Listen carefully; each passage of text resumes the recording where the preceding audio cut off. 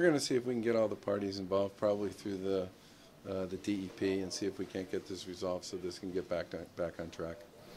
Uh, Are you concerned about the, the jobs, losing jobs and revenue? Oh, sure. Um, I mean, this, uh, this process has been going on for quite a while now, and, um, and I think this is, I would think of this as kind of the last link in the chain, and we should do what we can to see if we can get it resolved and, uh, and put people to work. Have you spoken to um, Wynn or Mayor Curtatone about this? No, I haven't spoken to them, but uh, as I said, we're going to try and serve as a convener to see if we can get the, the issues that are outstanding resolved.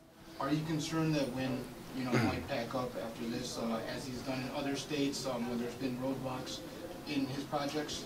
Well, I can't speak for him, and you'd have to talk to his, his people to, to get an answer to that. I do think uh, he's very excited about the opportunity, and so are we. What will it take for uh, Mayor Curtatone to tone it back down on this? I guess we're going to try and find out. Uh, Any timetable for when you're talking to either of those two? Uh, it'll be it'll be soon. It'll certainly be this week. Thank you.